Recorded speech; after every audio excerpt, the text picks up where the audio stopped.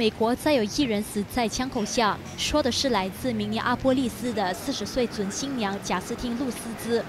她在上个星期六晚上十一点左右，因为怀疑住家附近的巷子发生性侵案而立马报警，不料自己随后却被警员开枪射中腹部而死亡。直到今天，警方都没有透露为什么要开枪袭击贾斯汀，让家属非常不满。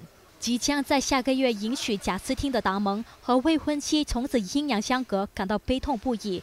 而白头人送黑头人的贾斯汀父亲更是心如刀割，强烈要求当局给予交代，还予死者一个公道。We thought yesterday was our worst nightmare, but we awoke to the ugly truth, and it hurt even more. Justine, our daughter, was so special to us and to so many others.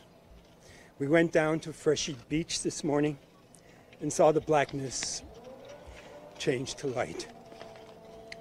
Justine was a beacon to all of us. We only ask that the light of justice shine down on the circumstances of her death. Thank you.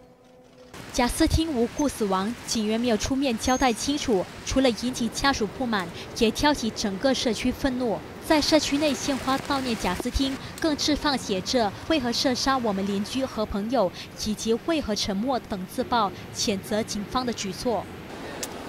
The police are obviously not defending the people's interests. They're they're interested in their own lives. They can shoot they can do anything. 根据了解，射杀贾斯汀的是三十二岁的警员莫哈默诺，两年前才加入警队。事发当时，他和另一名警员的随身摄像头都没有打开，警车上的摄像机也没有记录事发经过。然而，按照规定，警察身上的摄像机应该处于开启模式，除非开机动作可能威胁到警方安全，才可以不开启。